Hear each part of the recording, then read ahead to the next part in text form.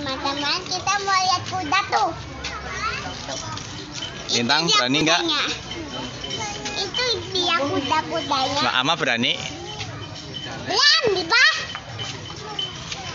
Tapi Mbak Ama belum.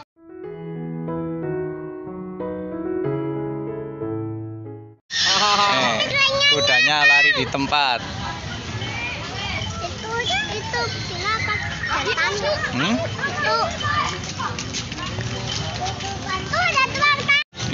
Banget kudanya, Tang. Sini aja nanti caranya aja. Tuh, sebelah sana banyak banget kuda.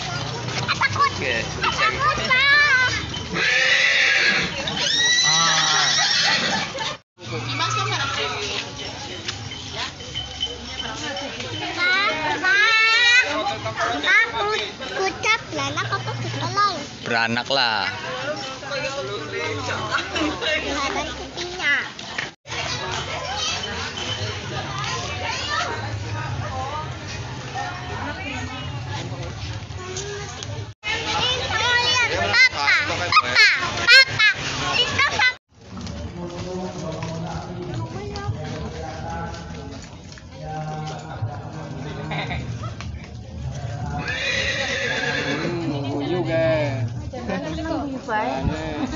Bang, bang.